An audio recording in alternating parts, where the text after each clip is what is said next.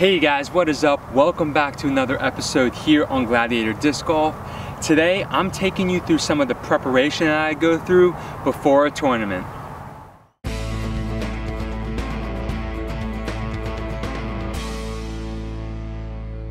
Alright, if you guys are brand new to the channel, I want to welcome you. Thank you so much for coming and stopping by. Please make sure that you like, subscribe, and hit that notification bell.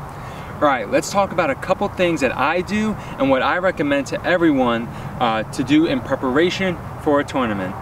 Real quick, I forgot to mention, if you want to see an in the bag video of what I've been carrying this year and, the, and some of the molds I've been working with for the last couple years, make sure you like this video so that I know you guys want to see that. You know, in the bags are always fun to watch and do, so let me know if you guys want to know what I'm throwing this 2020 season and definitely into 2021. Alrighty, let's get started.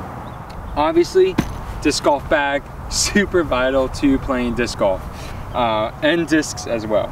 But it's more what's in the bag, and I don't even mean discs, that helps determine a golfer's success.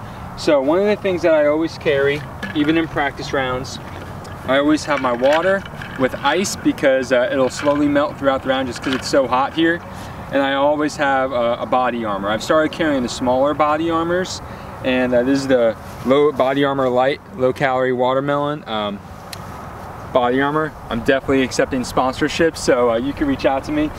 But um, I always carry those. Um, the water obviously to stay hydrated and body armors I like more than Gatorades, way less sugar, way fewer calories and to me, they honestly taste a whole lot better, especially the light ones. That watermelon tastes like watermelon Jolly Rancher, and it's only like four grams of sugar for the entire bottle. So super, super tasty stuff, but it helps me stay replenished throughout the round. And I just take a few sips here and there, and I just like to stay hydrated throughout the round. The important thing is that you start getting hydrated before the round. Um, the other things I like to carry in my bag, obviously towels. So I got this sort of smaller towel that I like to use mainly for my hands and the bigger towel for the discs, any mud or big chunks of dirt that may come up.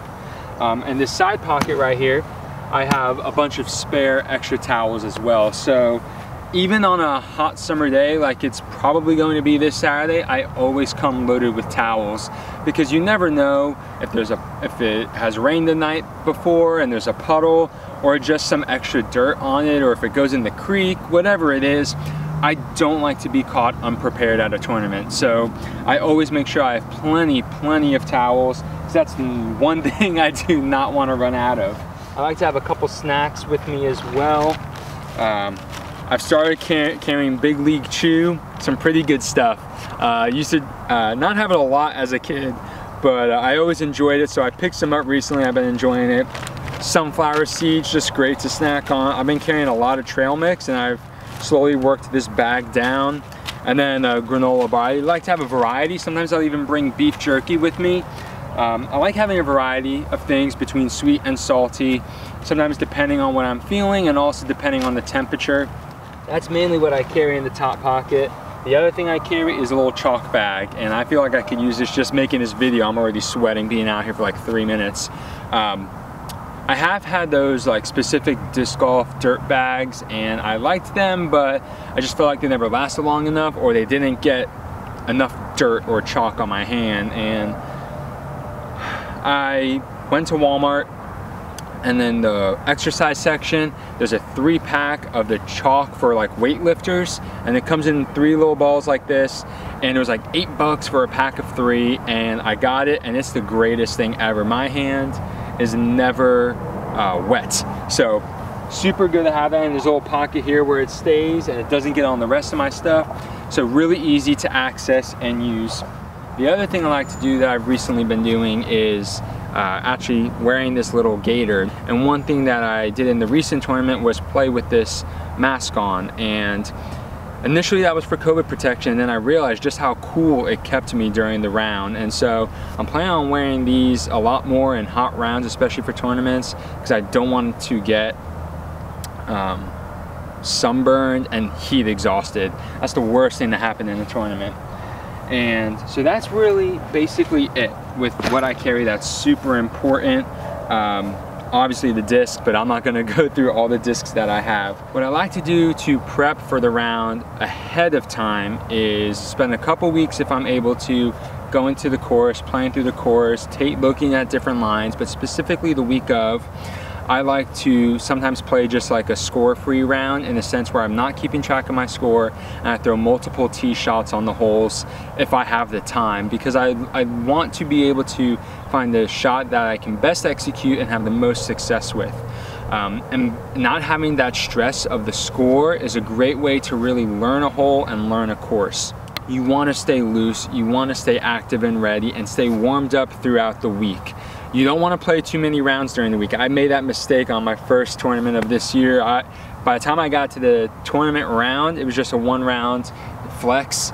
Um, it, had, it was my fifth or sixth round of the week. So I was playing great up until about hole 14 and then just fatigue and I couldn't hit my lines and my score went so south so fast. So Definitely stay active during the week, but you don't want to overdo it because then come the most important day, Saturday or Saturday and Sunday, depending on the kind of tournament you're playing, you can find that you're going to get really fatigued while you play and you're going to lose a lot of strokes that way. The other thing that you really want to work on is your mental game. You want to make sure you're going into it with a positive attitude. Don't put too much pressure on yourself beforehand because you're already going to feel pressure when you get there. Um, even the most seasoned veterans feel uh, some pressure to perform when they get to a tournament. And the last thing you want to do is psych yourself out before you even throw. And so working on your mental game the week of is super, super important. And one of the ways that you can do that is just visualize yourself being successful. That's one of the most important things they teach you in sports is visualize yourself being successful. And tied in with that, a little helpful tip for just um, putting especially overall is if you haven't watched the um, Michael Jordan Michael Jordan's uh, 1996 Bulls documentary, uh, The Last Dance. I strongly recommend you watch it because there's a couple good lines in there about how to be successful. And one thing that stood out to me and stood out to some of my friends who play disc golf that watched that documentary is when Michael Jordan talks about why would I think about missing a shot I haven't taken yet. And I think that really applies to disc golfers as well, especially on the putting green. Sometimes we get so caught up in, okay, if I miss, I want to miss it this way. We haven't even putted yet. Why are we going to think about missing a putt that we haven't even made yet? Or that we haven't even attempted yet.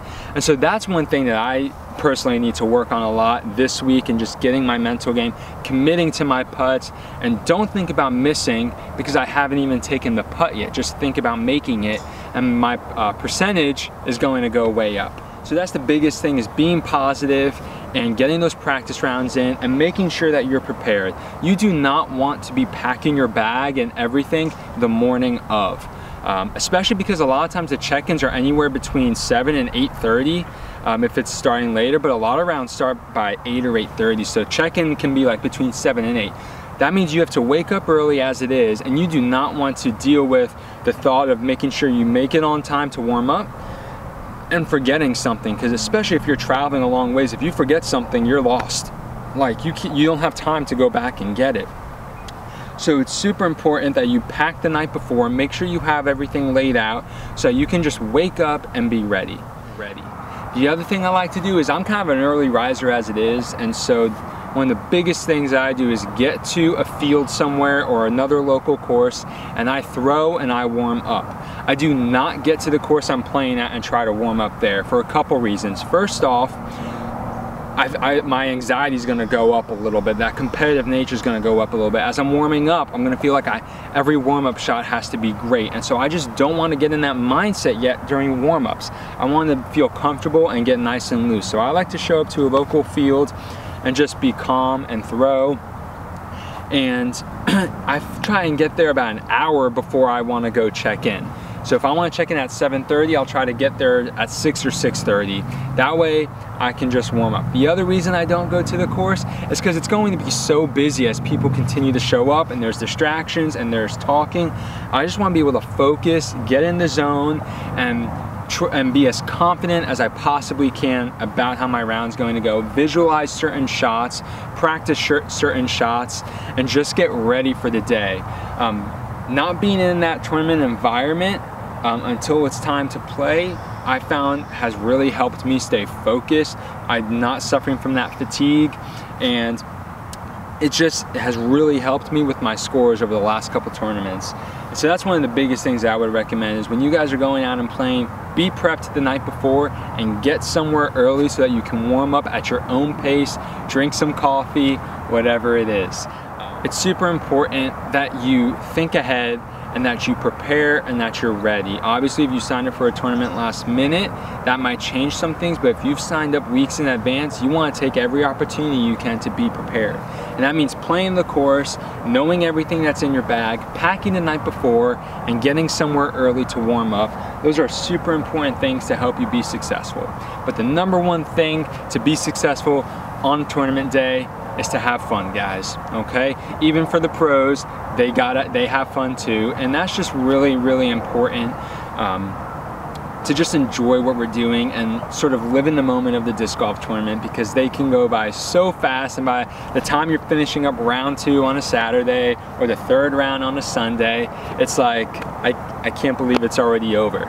And so have fun with it enjoy it play your best you know be positive with your card mates, encourage them, um, celebrate their successful shots and putts because when other people are playing well, you're going to play well. Well, that's all I got for you today, guys. I hope this little video on tournament prep was super helpful, especially for those of you who are looking to play your first couple tournaments.